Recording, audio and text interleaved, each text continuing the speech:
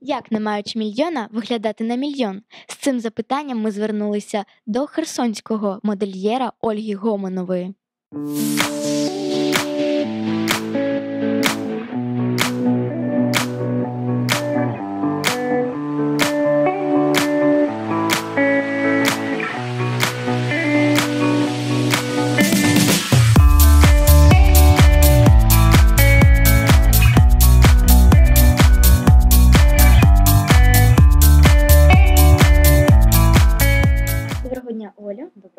Медіашкола від першого регіонального підготувала до вас запитання. Перше запитання: чи була у вас в дитинстві мрія стати модельєром? М, Моя бабушка, она была в свое время очень знатной модисткой и э, обшивала практически, м, ну, можно сказать, э, большую часть Херсона. И э, я постоянно была рядом с ней, мне в пять лет подарили швейную машинку, и можно сказать, что с этих вот э, моментов началась моя карьера. У якому році ви пошили першу сукню?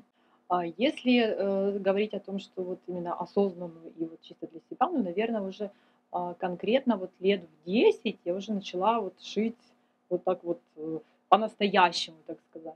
А, Потому что у меня, опять же, курировала меня моя бабушка, то есть она мне помогала, и она меня заставляла. То есть если я, допустим, что-то сделаю, какой-то шовчик неправильно, мне заставляла перепарывать, я говорила, ах, и так сойдет. Она говорит, нет, нет, нет, пока не научишься это все распарывать, и, говорит, и делать все идеально. Говорит, шить не начнешь. Э, Самый первый костюм, который я пошила, а, это был выпускной в 11 классе. Э, Это был костюм просто, а, ну, можно сказать, нереальный, потому что он шился, наверное, месяца два или три. Это все было настолько идеально, это просто, я так готовилась тщательно. И а, в свое время я ходила еще на кружок, назывался «Театр мод», а, мы устраивали показы, потом своих же моделей, которые мы отшивали для выпускного.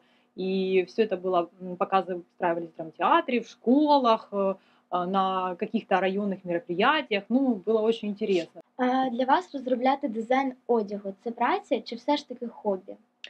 А, Скажу так, это хобби, которое приносит мне и удовольствие, и в то же время моя работа, мое творчество, мое призвание. Як вам вдається поєднувати роботу і сімейне життя?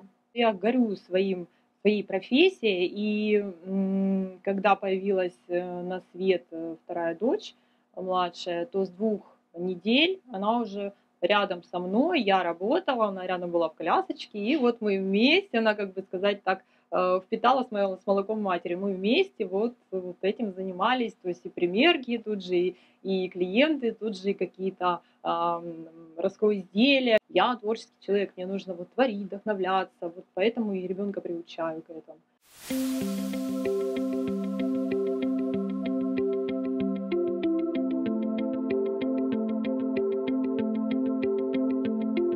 Молодша донька Ольги успадкувала тягу до шиття. Вперше сіла за швейну машину в 6 років. Каже, шити не боїться. Під маминим наглядом вже створила колекцію для ляльок. Шиє також речі і для себе.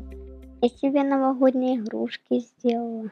Я еще хотела себе платье пошить на Новый год. Еще какую-то юбку себе пошить.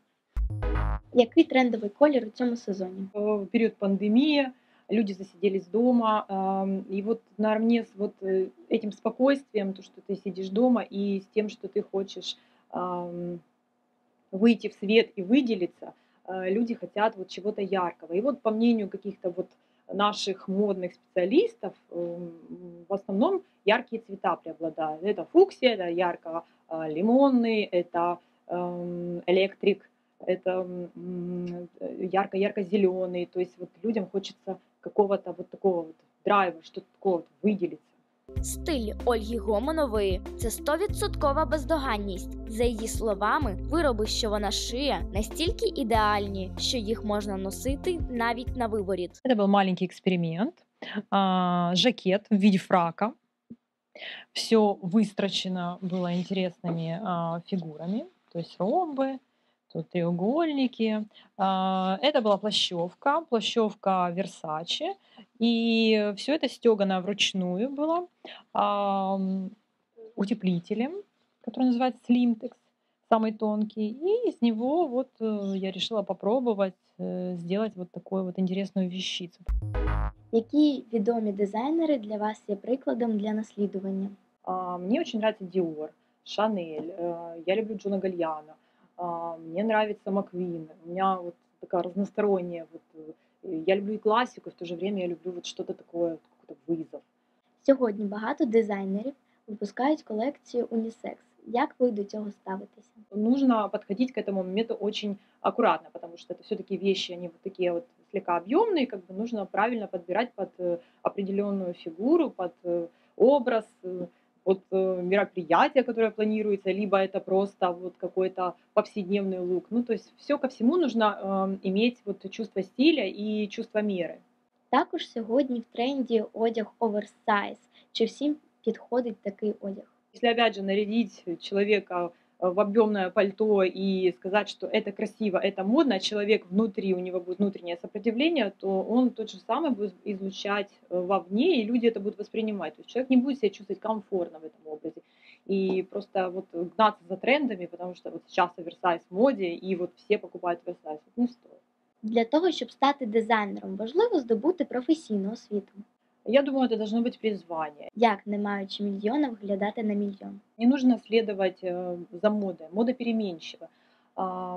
Тренды трендами, но должно быть какое-то чувство стиля э, свое личное. И э, нужно воспринимать одежду так, вот что ты хочешь выразить, что у тебя есть такое внутри, что ты можешь выразить. Потому что мода это не о фэшн-показах, не о том, что прям вот э, тренды тренды, а о том, что что-то есть внутри, вот только вот чисто вот, вот наше.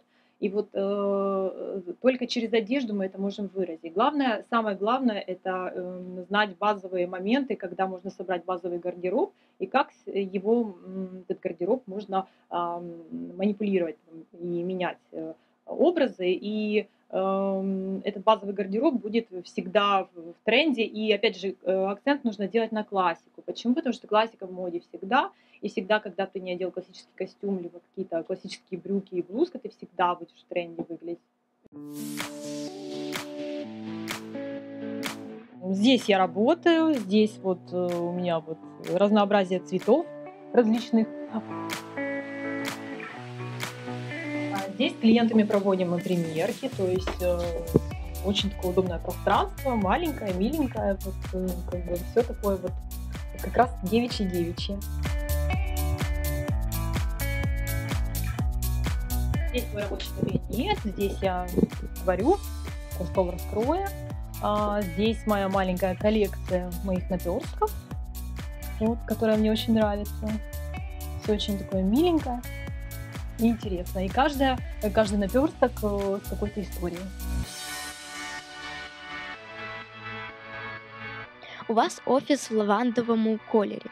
Це ви саме створювали? Так, А, это вот то, что я чувствую внутри себя, это вот такое вот девичье пространство, это м, такой вот м, колер э, спокойствия, роскоши и удовлетворения вот жизнью.